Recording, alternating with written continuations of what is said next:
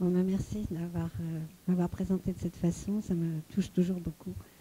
Parce que c'est vrai que quand j'écris, je me mets toujours dans l'esprit des gens qui vont me lire.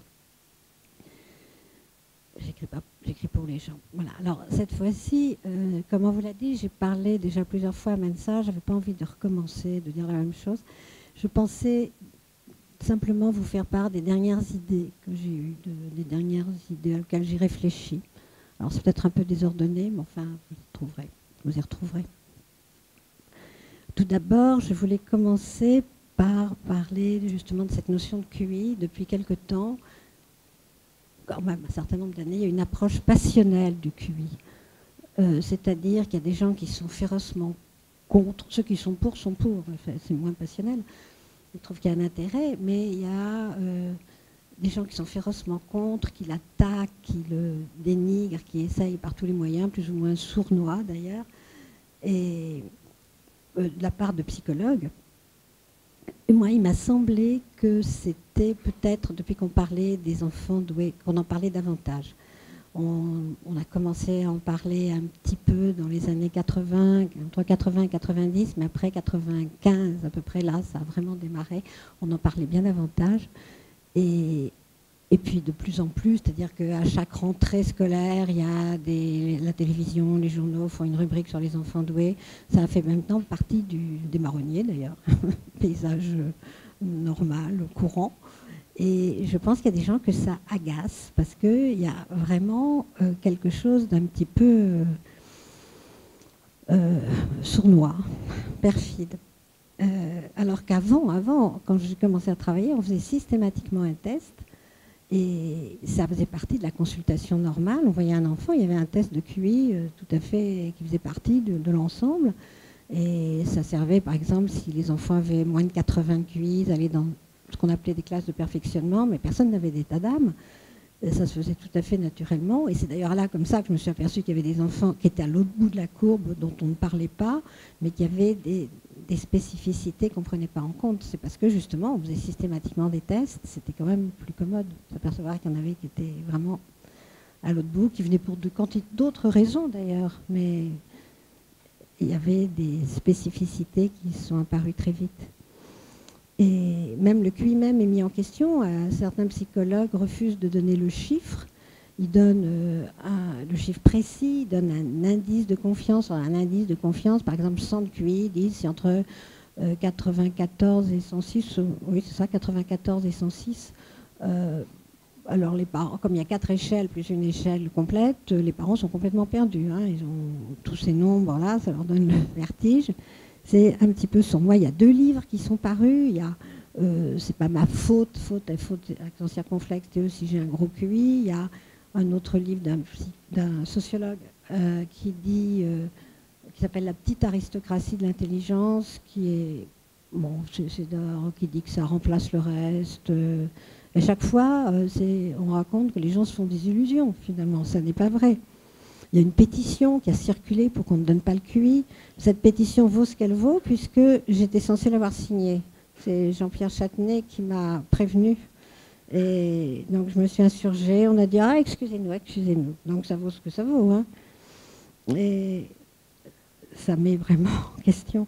Et j'ai retrouvé par hasard, mais comme je préparais cette conférence, euh, un texte qui date de 83, un article qui est apparu dans Archives de pédiatrie en 2003. Et euh, c'est vraiment. euh, bon, je développerai, j'ai repéré trois paragraphes. Euh, ça s'appelle déjà Conduite à tenir devant un enfant étiqueté surdoué. Il y a une perfidie dans le langage, tout est dit en trois mots, tout est dit étiqueté surdoué, on n'a pas besoin de se casser la tête.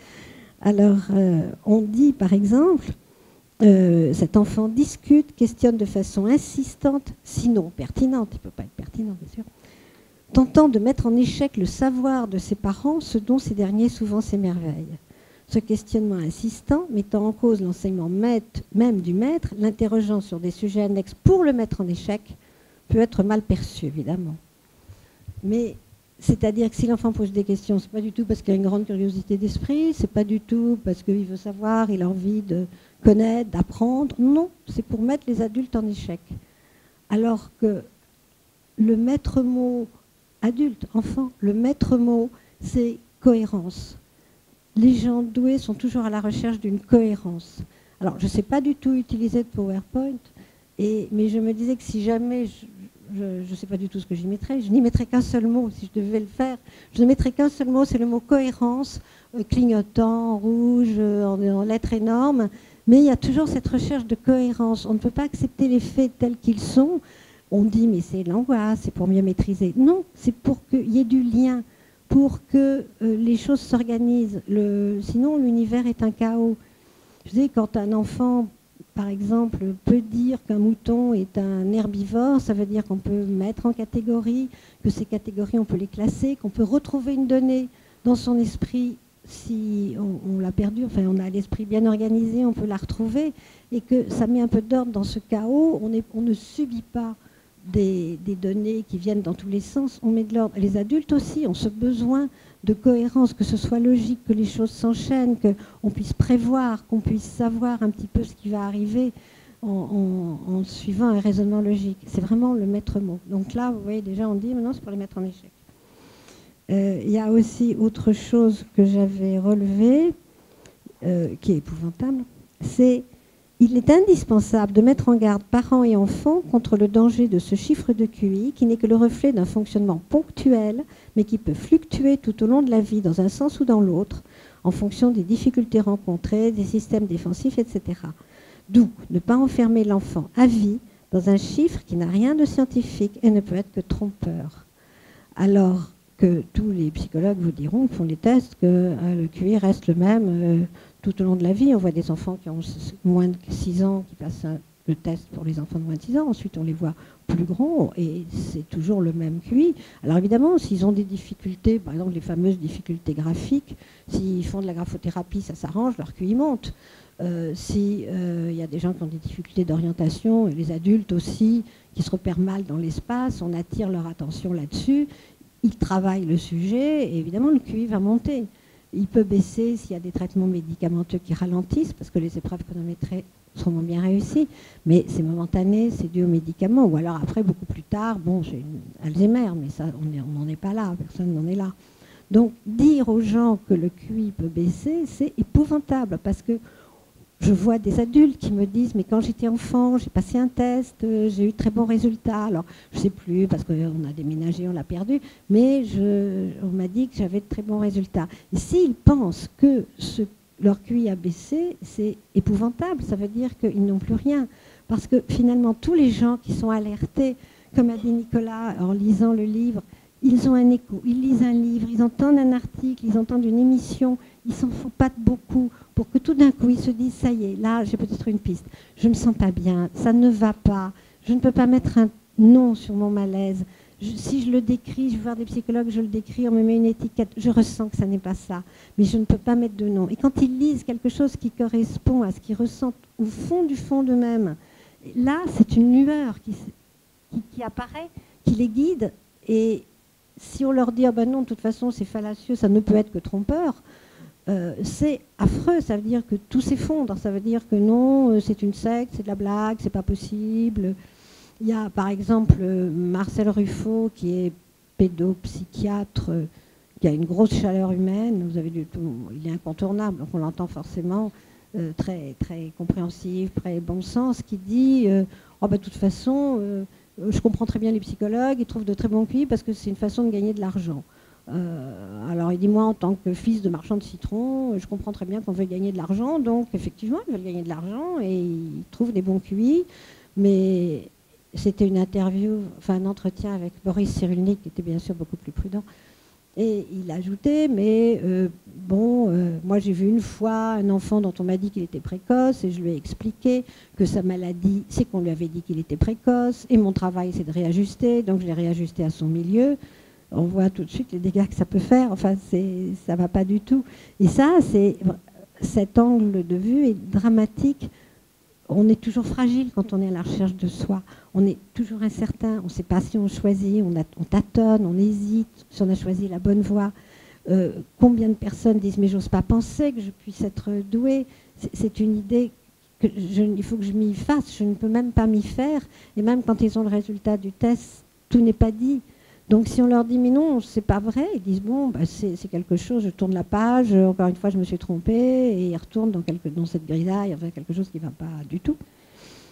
Et c'est beaucoup plus pervers. rien que le langage, vous voyez, le choix des mots, ça ne peut être que trompeur. Ah oui, il y a autre chose aussi, troisième euh, chose, qui dit euh, donc nous recevons des adolescents et de jeunes adultes jusque-là brillants et sans difficulté patente pour des difficultés d'inscription subjective dont ils étaient en quelque sorte dispensés grâce à leur ingéniosité, pas leur intelligence, leur ingéniosité. Ils tombent de haut face aux aléas de la logique de l'amour, mais ça, qui ne tombe pas de haut Face à un échec inconnu d'eux avant ce jour, face à la nécessité de travailler à laquelle ils s'étaient dérobés efficacement. Ils mettent en doute et questionnent très douloureusement leurs valeurs. Ils viennent nous confirmer, si besoin était, que leur économie n'est pas exempte d'un coût auquel ils se retrouvent alors confrontés avec surprise et angoisse. Malgré les espoirs entretenus par le discours social d'aujourd'hui, une, intelligence exceptionnelle n'évite pas de payer le tribut exigé par la castration, conditions humaines et sexualité oblige, sauf à en souffrir pire du côté de la psychose éventuellement. Alors que l'écueil, le grand écueil pour les gens doués, et c'est effectivement euh, dans les grandes classes et les jeunes adultes qui prouvent, c'est cette absence du sens de l'effort, cette méconnaissance du sens de l'effort. Euh, j'avais, il y a un texte qui traîne, un texte de moi qui traîne sur Internet où j'en parle et où justement je dis, comme ça arrive aux adolescents, forcément, ça arrive tard, ça arrive pas en CM2. Euh, je dis, euh, ils vont voir des psychologues, ils consultent, on dit, ah, justement, castration, ça y est, ils sont confrontés à la castration. Mais ça n'a rien à voir. C'est des questions de méthode, de technique de travail. C'est et après, évidemment, ce sont des gens qui s'automutilent, qui, se, qui, font, enfin, qui sombrent complètement parce que les rêves d'avenir se fracassent, tout se fracasse, leur image, tout se fracasse. Quand, après un échec, c'est surtout vrai pour les étudiants en médecine qui avaient une vraie vocation et puis les deux premières années, il faut apprendre par cœur. Et apprendre par cœur, quand il n'y a pas vraiment de sens, ça, c'est, il n'y arrive pas. Et après, il reste une cicatrice toute la vie, même s'il y a une certaine réussite professionnelle, il y aura toujours cette marque de cet échec. Mais c'est simplement des questions de technique, de méthode, de travail. Et la notion de sens de l'effort, je dis que ce n'est pas la même pour tout le monde. Euh, parce que pour eux, faire un effort, ça veut dire faire quelque chose d'ennuyeux et non pas quelque chose de, difficile, c'est quelque chose d'ennuyeux. Longtemps, ça a été comme ça et on ne les incite pas à faire un effort. Ils sont déjà très bons en classe, pourquoi? Ils seraient encore meilleurs Donc il n'y a pas d'effort et c'est vrai que le réveil est terrible et douloureux. J'étais passé une fois euh, une émission télévision et il y avait sur les adultes et puis à la fin pour que ce soit un peu interactif, il y a deux, trois personnes qui posent des questions. Il y a un jeune homme qui dit voilà, je ne comprends pas, j'ai 138 de QI et je n'arrive, je, rate mes examens. Et ah, je me dis formidable, je vais pouvoir placer mon, histoire parce que sur le sens de l'effort, parce que c'est vraiment ça qui est le pivot, qui est quelque chose d'essentiel. Et l'autre psychologue qui était très agressif avec moi, tout à fait, pour gagner de l'argent, enfin dit euh, qu'il oublie son QI et qu'il aille voir un psychologue. Ce qui est vraiment la dernière chose à faire. Euh, de toute façon, la dernière chose à faire dans ces cas-là. Donc ce discrédit rejaillit sur Mensa. Ça doit être une association internationale qui est beaucoup mieux vue d'ailleurs euh, dans les pays anglo-saxons, comme vous avez entendu d'après les chiffres. Et là, ce discrédit rejaillit, on fait semblant de croire que c'est une secte, que ce sont des gens nombrilistes, des gens euh, qui, qui, un peu immatures, bien sûr, parce qu'il faut bien qu'il y ait un mais dans ces histoires-là. On ne peut pas être bien, être intelligent et mûr, il y a forcément un mais, ça c'est sûr. Et, donc, il y a toujours des hésitations, des choses comme ça, alors que euh, Mensa, ça fait rêver. Euh, quand j'ai été au Liban au mois de mai, parce qu'il voulait ouvrir une école pour enfants doués. Puis il y a quelques années, j'avais été aussi invitée à l'île Maurice pour les mêmes raisons. Et quand je parle de Mansa, les gens en rêvent. Mais vraiment en rêve. Ce sont des terres de mission. J'avais envoyé au secrétaire de l'époque, Jean-Marc Badjo, j'avais. Oh, est-ce qu'on peut faire quelque chose pour eux? Moi, je ne peux rien faire. Mais est-ce qu'on aurait pu faire quelque chose? Ces gens rêvent de Mensa. Pour eux, c'est le paradis. Euh, se retrouver, ils essayent, mais il n'y a pas de structure. La Mensa, c'est une structure solide et comme a dit Nicolas, en partant à l'étranger, on peut. Moi aussi, j'avais testé, c'est très agréable. C'est vraiment très agréable de se retrouver comme ça. Et, d'ailleurs, euh, les premiers à s'être occupés des enfants doués sont des Mensa. Quand même, ils ont quand même rempli un petit rôle par rapport à l'intelligence, à promouvoir l'intelligence, parce que le premier, c'est Jean-Charles Terrassier, qui était vice-président de Mensa à l'époque. C'est celui qui a écrit le premier livre. Il y avait aussi Paul Merchat qui, a fait beaucoup de colonies de vacances. Peut-être que certains d'entre vous ont connu. Ensuite, il y a eu moi. Euh, bon, Sophie Cotte était très proche de Mensa. Et donc, c'était tout le temps, ça tournait autour de Mensa. Euh, il y a une autre euh, campagne un petit peu qui m'agace. Alors, je, vous donne mon avis. On dit ces gens ne sont pas plus intelligents, ils sont différents. Et moi, j'ai l'impression que c'est politiquement correct de dire ça. Parce que, justement, ces fameux tests sont étalonnés sur le plus grand nombre. Et, euh, bon, M. Grégoire vous en parlera, c'est vraiment sur, on prend un reflet de la population d'un pays donné, avec, en tenant compte des catégories socio-professionnelles, etc. Enfin, c'est le reflet d'une population donnée. Or, les gens doués réussissent beaucoup mieux, beaucoup, jusqu'au bout mais avec cette logique que j'admire toujours, cette logique rigoureuse, ils donnent la réponse, on dirait qu'ils connaissent le manuel. C'est-à-dire que l'enchaînement logique se fait avec c'est une mécanique magnifique. Euh, il n'y a pas d'égarement, il n'y a pas d'erreur. Euh, ça s'enchaîne comme quelque chose de, parfait. Et on ne peut pas dire que quand c'est parfait comme ça, on ne peut pas dire bah, c'est différent. Ce n'est pas, pas comme les autres. Ce sont les autres qui, qui n'y arrivent pas, qui, qui ne savent pas, euh, quand on demande euh, la ressemblance, je sais entre une rose et du jasmin, euh, ils disent non, c'est pas la même couleur. Enfin, je prends un exemple caricatural, mais c'est ce mode de raisonnement-là, le raisonnement par analogie, qui est assez représentatif de l'intelligence, là, chez les gens doués, ça fonctionne parfaitement et de façon admirable. On ne peut pas dire qu'ils sont différents. Moi, je crois que c'est pour faire passer la pilule, on dit, ben non, euh, ils ne sont pas comme les autres. Ça veut dire qu'ils peuvent rentrer dans des ghettos, on les met à part. Euh, eux-mêmes, déjà qui se sentent un peu mal à l'aise, bah, ça va très bien, ils sont à part. Bien sûr, ils sont différents. Euh, c'est une façon de stigmatiser qui est un peu, un peu agaçante. Alors que, en fin de compte, ce qu'il y a de plus difficile, je vous ai parlé de cette difficulté de travailler et qui, est un peu propre aux gens doués, moi, je dis doué. Précoce, ça m'agace, euh, parce que ça veut dire que ça va s'arrêter.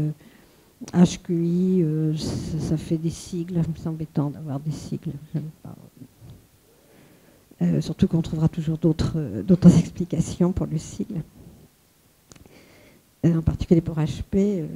Et, et, alors, et l'autre, évidemment, c'est les difficultés à rencontrer des gens avec qui on peut parler. C'est tellement fréquent de parler aux gens et tout d'un coup il y a un mur. Les gens parlent, dialoguent, et puis tout d'un coup quelque chose se dresse, ça ne passe plus. La, la communication ne passe plus. Il y a, voilà, c'est fini. il y a un mur et qui est infranchissable, qui est désespérant. Et ça arrive, hélas, ça arrive dans des couples. Et parce que de ce côté-là, on peut dire que c'est beaucoup plus difficile. Euh, l'amitié, à la rigueur, bon, mais on ne vit pas avec 24 heures sur 24, mais l'amour, comme disait, on tombe de haut, mais l'amour, c'est tellement difficile de rencontrer quelqu'un avec qui ça peut fonctionner, avec qui il n'y a pas ce mur. Ça, c'est vraiment quelque chose de plus, plus subtil, plus difficile. Et il y a maintenant, ce qui a changé, je disais, rencontrer des gens, parler, ce qui a beaucoup changé, c'est Internet. Euh, parce que bon, l'information circule, mais non seulement l'information, il y a les forums où les gens d'ailleurs s'injurient joyeusement. Et il y a les chats aussi, et les gens nouent des relations amicales avec des gens qui n'ont jamais vu, qui ne verront peut-être jamais, mais là, ils se sentent un peu en confiance. Euh, mais Internet a ce danger, c'est que les gens sont autoproclamés, ce qui n'est donc pas le cas de Mensa. N'importe qui peut s'annoncer surdoué et bien sûr ne pas l'être. Ça ouvre la porte aux sectes aux manipulateurs de tous ordres, aux gens qui draguent tout simplement, parce que Zebra Crossing, c'est mythique pour Jean Doué. Quoi. C'est vraiment, ils se rencontrent, ça sert à ça. Mais pourquoi pas Oui, pourquoi pas mais il y a ce danger qui est quand même inquiétant, surtout le danger des sectes, je trouve. Euh, vous avez dû entendre parler des enfants indigos, euh, dont on dit qu'ils sont indigos euh, parce que leur mère a été fécondée par un dieu, enfin c'est dit comme ça. et ils ont une aura indigo.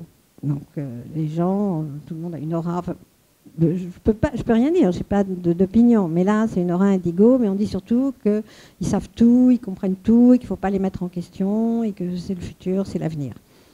Et ça, c'est un petit peu quand même dangereux. Et je crois que les gens doués sont un petit peu euh, vulnérables de ce côté-là. J'avais rencontré une dame, euh, pas du tout en clientèle d'ailleurs, qui m'avait dit qu'elle euh, avait exprimé ce sentiment pas être tout à fait au point. Et elle disait, mais on m'a donné une explication, on m'a dit que j'étais pas complètement incarnée. Et elle, ça correspondait tellement à ce qu'elle pouvait ressentir qu'on pouvait le dire comme ça. Ça ne veut pas dire, bien sûr, mais on pouvait le dire comme ça. Ça faisait un écho de dire je ne suis pas complètement incarnée. Oui, alors effectivement, il y a des parties de moi qui ne fonctionnent pas bien parce que euh, c'est pas encore, c'est pas encore descendu, c'est pas encore là. Je suis encore un peu dans la stratosphère. Ça correspondait à quelque chose. Euh, et vous voyez la fragilité, comment on peut, s'engouffrer. Les sectes, euh, j'avais vu quelqu'un qui avait été pris par une secte qui en était sorti heureusement, mais quand le gourou devait partir pour affaire, il lui confiait les clés de la baraque parce que les confier aux zombies hallucinés, ça n'allait pas, tandis que lui, il avait de la tête, il pouvait réfléchir, il pouvait prendre des décisions. c'est un rêve des gens. Il y a aussi des gens, des écoles. il y a périodiquement des tentatives pour faire des écoles ça, fait rêver. Et alors quand je parlais aussi d'Internet, il y a les imposteurs. Alors que justement, pour les gens doués, ce qui est presque classique, presque tout le monde, c'est la peur d'être, de passer pour un, imposteur. Ils se disent, un jour, on va s'apercevoir que je ne suis pas si bien que ça. Un jour, on va s'apercevoir que je suis décevant, qu'on m'a prêté des qualités que je n'ai pas, ou qui sont bien moindres que ce qu'on me prête. On me prend pour quelqu'un d'autre. Et forcément, je vais décevoir. Et ça, les gens doués ont ce syndrome d'imposteur très, très, très fort, même, même si la réalité les contredit, même s'ils, réussissent. Ils disent oui, mais, oui, j'ai réussi. Mais même les enfants, quand je leur dis, euh, oh, tu as vraiment bien travaillé, vraiment, tu as bien répondu, tu as le cerveau qui est bien fait, je leur dis des choses comme ça parce qu'ils ils ont beaucoup donné d'eux-mêmes. Et ils me disent non, j'ai eu de la chance, j'ai simplement su répondre aux questions. Alors que bien sûr, ce pas des questions de connaissance générale, donc euh, ça n'est pas ça du tout. Euh, mais euh, les imposteurs n'ont aucun scrupule, ils sont très très contents d'eux, et au contraire, ça ne les gêne pas du tout de s'approprier tout, ce qui, ce ne leur appartient pas. Mais j'avais lu un article, on parlait de Woody Allen, qui disait et la personne qui en parlait disait il a beaucoup d'humour. Quand on lui disait euh, comment, comment avez-vous dormi, il disait sur le côté gauche pourquoi. Donc il a beaucoup d'humour, il est très drôle, mais Woody Allen a l'impression qu'il est un imposteur et qu'un jour on va s'apercevoir qu'il ne sait pas faire de film et que ça n'est pas bien. Et c'est étonnant, il a fait des années d'analyse en plus. Et malgré tout, il a ce, c'est typique, je trouve. Il est intelligent. Bon, il a des films qu'il a un peu ratés, mais l'ensemble est quand même plutôt bon et il a marqué le cinéma il a quand même cette impression d'imposture. Euh, je trouve que c'est impressionnant, mais non, c'est ce que j'entends tout le temps. Alors ça, évidemment, c'est dû au souci de perfection. Euh, tout le monde sait que les gens doués sont perfectionnistes, que Léonard Vinci disait un seul coup de pinceau malheureux peut gâcher la plus belle des toiles. Et ça, c'est quelque chose que les gens se disent, il faut que ça soit parfait, quitte à y mettre le temps, à s'épuiser, à passer des nuits blanches quand on fait quelque chose. Il faut que ça soit vraiment très bien fait. Et ce souci de perfection est vraiment épuisant et les gens sont jamais sûrs d'eux. Alors entre l'histoire d'imposture, jamais sûrs, les difficultés pour se retrouver, euh, eh bien, ça amène tout le monde, tous les gens doués à se construire. Moi, je dis une armure. Euh, beaucoup de gens disent un masque. Beaucoup de gens me disent j'ai un masque. Il y a des gens qui me disent mais j'ai un mur, je me suis construit un mur autour de moi. Alors moi, l'image que j'ai eue, c'est armure. Alors l'armure, on peut bouger quand même. Euh, puis on est protégé de haut en bas et on peut bouger, ce qui est mieux que peut-être. Mais masque, ça ne protège pas vraiment.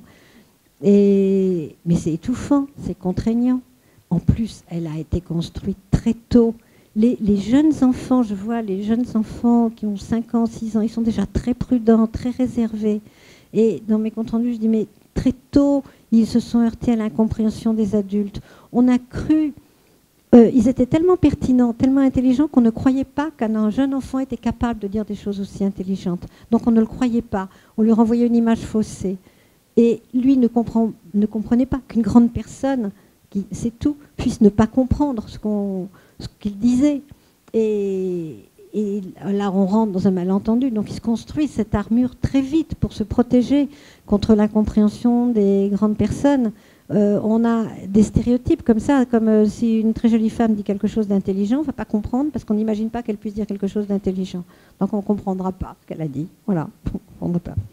Alors cette armure, euh, évidemment, elle est protectrice, mais il faut, on ne peut pas non plus s'en défaire trop vite.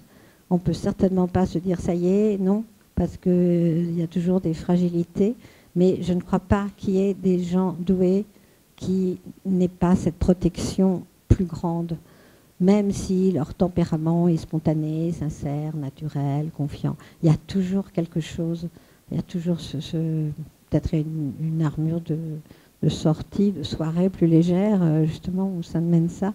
C'est déjà ça, elle doit être moins lourde, moins... Et ce qu'il y a aussi qui relie les gens, qui permet de survivre en dehors de l'armure, c'est l'humour. Euh, l'humour met de la distance, l'humour allège, allège, tout ce qui est triste et dramatique. Euh, et l'humour installe une connivence entre les personnes. Et c'est très précieux. Et ça va aussi de pair avec le don intellectuel.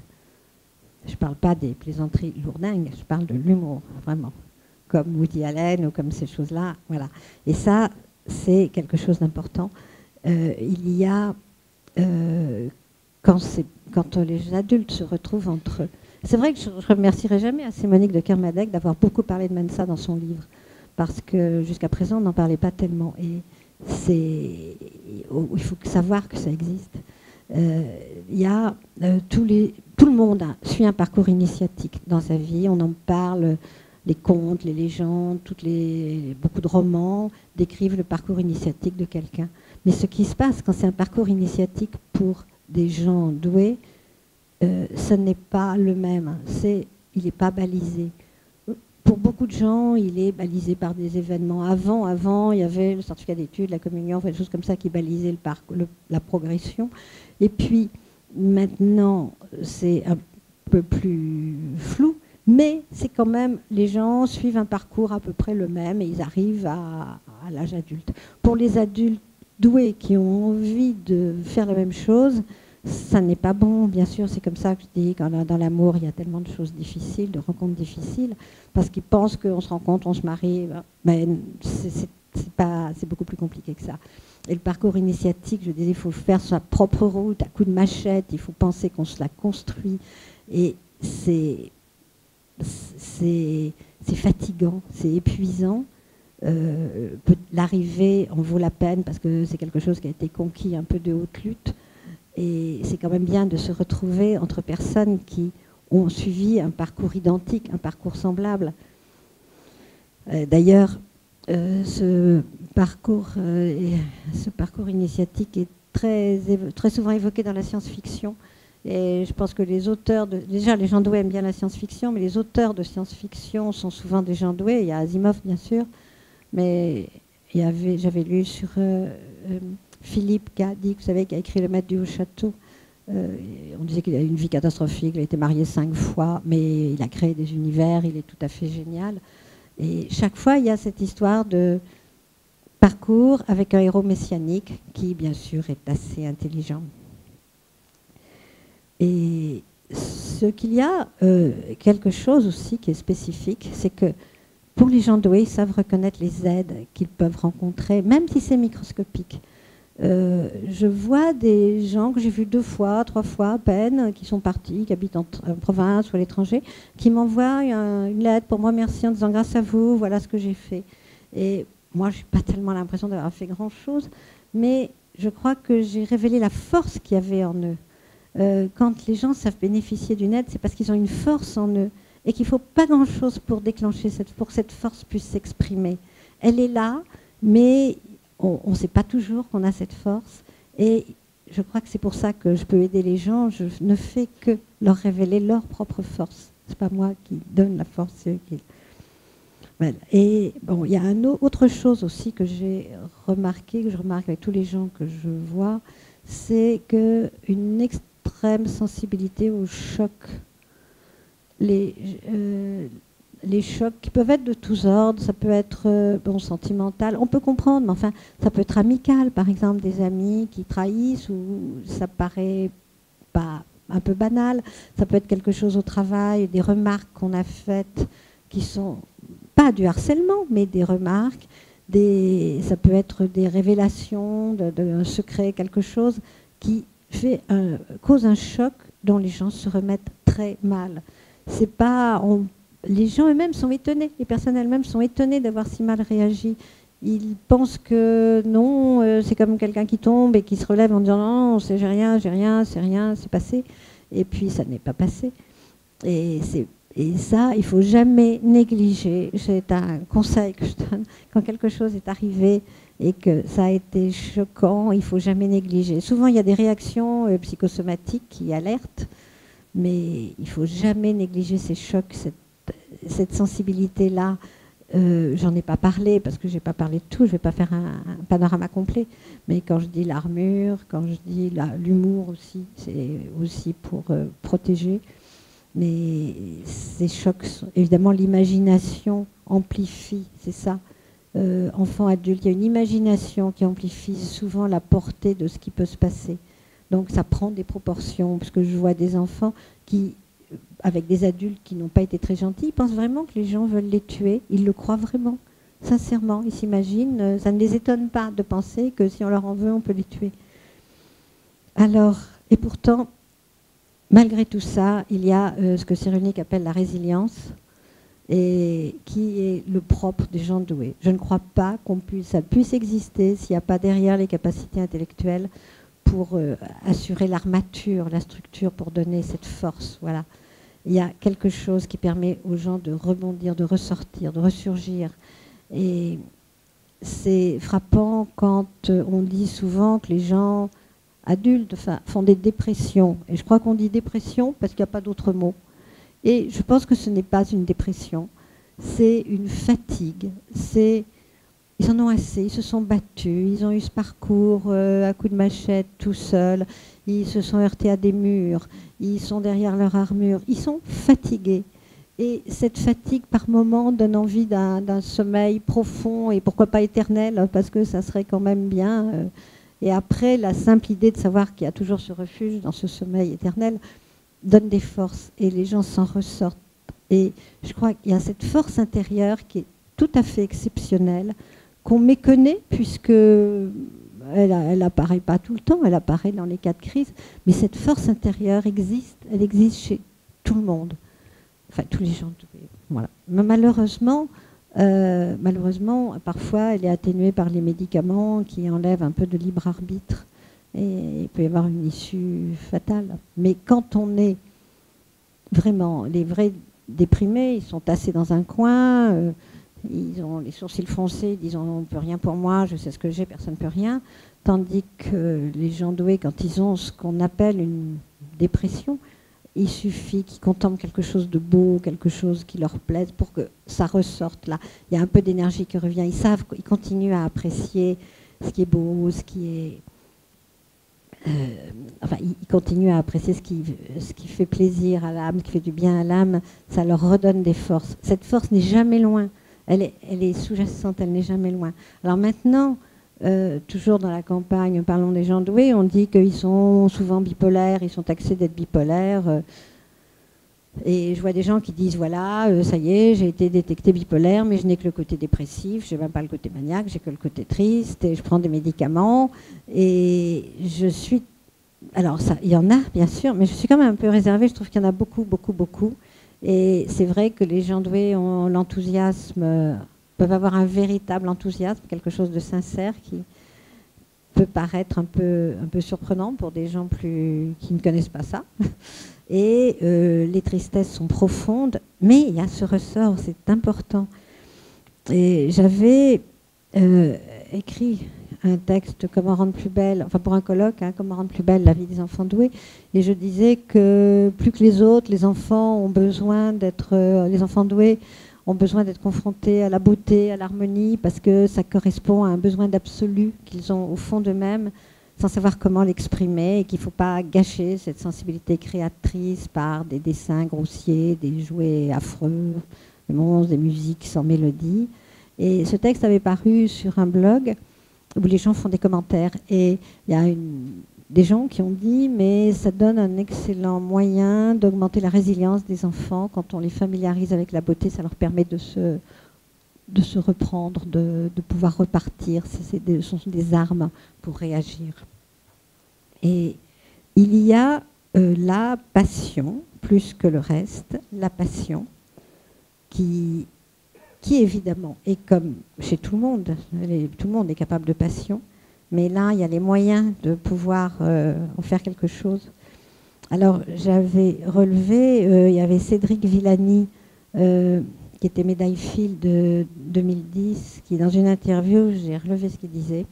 Il disait Le métier de chercheur en mathématiques est un job bourré de passion, à la recherche permanente de l'élégance.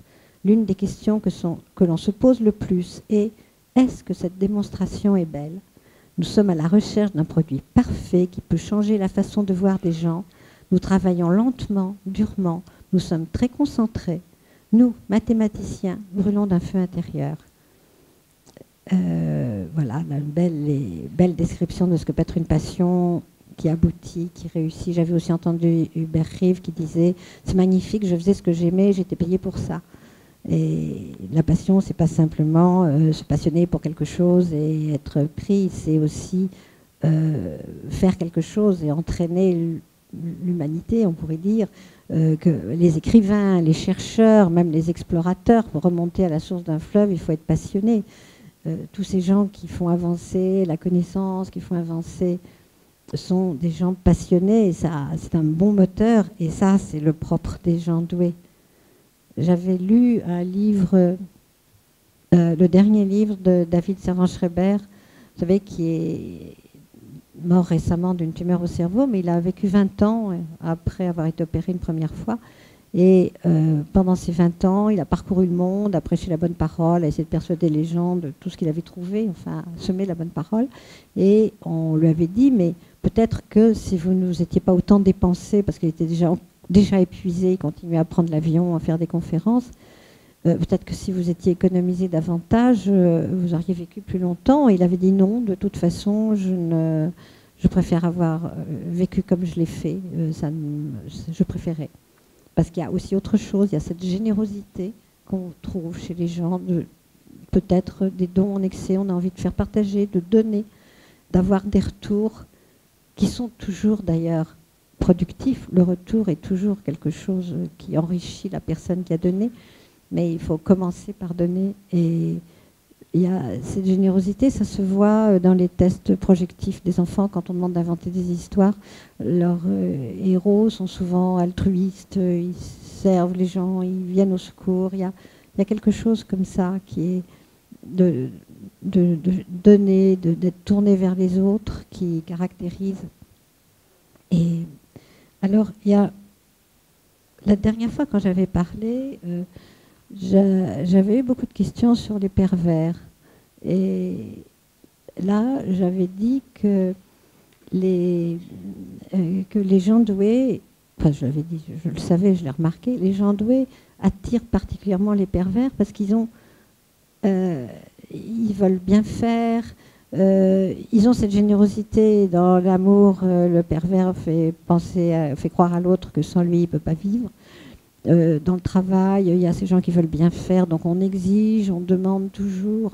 Et, puis, une fois, on, fait des compliments, on enrobe, enfin, on endort, et une fois que la personne douée est bien ferrée, on passe à l'attaque, on leur dit qu'ils sont décevants, enfin, on, leur, on les amène à penser par eux-mêmes qu'ils sont décevants, c'est encore pire. Et il y, a quelque chose qui se fait un peu trop souvent. Et heureusement, euh, les gens arrivent à s'en sortir. Et quand j'entends ces histoires-là, je pensais toujours à Marcel Proust et du côté de chez Swann, un amour de Swann, pardon, un amour de Swann. Et euh, parce que ce qui me frappe, c'est quand c'est une relation amoureuse, quand les gens l'évoquent, il n'y a jamais de moment heureux. Ils disent pas on a été heureux ensemble, on a eu des bons moments. Non, non, ils, il ne parle que de cette relation complètement destructrice. Et euh, donc un amour de soi, je résume, euh, il y a Swann qui est amoureux d'une femme qu'il fait marcher, qui trompe, qui est capricieuse, qui est...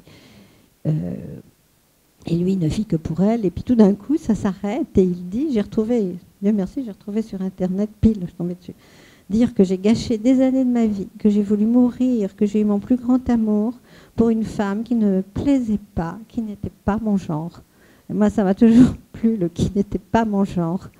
Et, donc, ça, c'est vraiment, les gens se reprennent, se retrouvent pour quelqu'un qui ils se disent, mais non, finalement, c'était pas mon genre. Ça me plaît beaucoup. Alors, pour terminer pile dans le temps, euh, je dirais que de tous les gens que je vois, souvent, ils ont un autre don. Ils ont leur don intellectuel, bien sûr, ils ont un métier, souvent, mais ils ont autre chose. Souvent, ça peut être de la peinture. Et quand ils me montrent des tableaux qu'ils ont faits, je suis, je trouve ça admirable. C'est des tableaux, il y a toujours quelque chose derrière. C'est quand vous voyez un, peintre qui vous plaît, là, il y a Hooper qui, passe et on voit des, reproductions dans, dans, les, dans les journaux. Euh, mais je le prends comme ça parce qu'on en parle. Euh, c'est des peintres, il y a toujours un univers, en quelques touches, ils évoquent un univers, il y a quelque chose. Et là, les tableaux que je vois, sont magnifiques. Mais ça peut être autre chose. Ils ne les commercialisent même pas, hein, un peu comme ça par hasard.